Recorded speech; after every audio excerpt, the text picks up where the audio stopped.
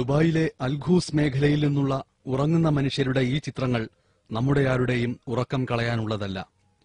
Commonwealth ഗെയിംസിന് ചെലവാക്കിയ പതിനായിരം കോടി രൂപയുടെ ആനന്ദക്കഥ പറഞ്ഞ് ഡൽഹി നമ്മളെ അഭിമാനത്തിന്റെ അധിക തുങ്കപദങ്ങളിൽ എത്തിക്കുമ്പോഴും നമ്മൾക്ക് വിദേശ നാണ്യം നേടിത്തരുന്ന മലയാളികളടക്കമുള്ള പ്രവാസികളിൽ പലരും ഗൾഫ് രാജ്യങ്ങളിൽ ജീവിക്കുന്ന ജീവിതം ഇങ്ങനെയാണ്.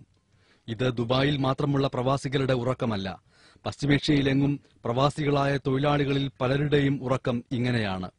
പകൽ ഇവർ പണിയെടുത്ത് നേടുന്ന പണത്തിന്റെ ഡി ഡിയും മണി ഓർഡറുകളും പണമാക്കി മാറ്റിയെടുത്ത് ഇവിടെ ഇവരുടെ ബന്ധുക്കൾ സുഖകരമായ ജീവിതത്തിന്റെ ഡൺലപ്പുകൾ കിനാവ് കണ്ടുറങ്ങുമ്പോൾ പ്രവാസിയുടെ ഉറക്കം മൂത്രപ്പുരയിലോ കക്കൂസിലോ ഇടനാഴിയിലോ നൂറുകണക്കിന് പേരുടെ തൊഴിയും ചവിട്ടുമേറ്റാകുന്നു.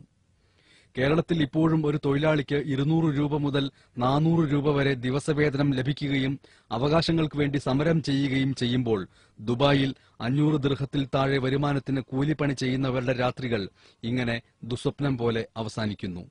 ദുബായിലെ അൽഖൂസിൽ നിന്ന് ഉറക്കം വരാത്ത ഒരു പാവം പ്രവാസി അയച്ചു തന്ന യാഥാർത്ഥ്യം നിറഞ്ഞ ചിത്രങ്ങൾക്കൊപ്പം കേരളത്തിൽ നിന്ന് എം എസ് ബനേഷ്.